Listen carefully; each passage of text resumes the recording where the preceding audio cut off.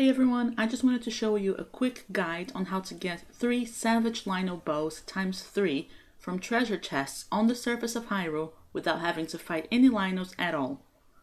Bear in mind that Tears of the Kingdom works with scaling, so I do presume you have to have advanced a bit in the game to get the Savage version. I believe if you start a new game and go straight for those chests, you might get normal Lynel bows. However, I haven't checked.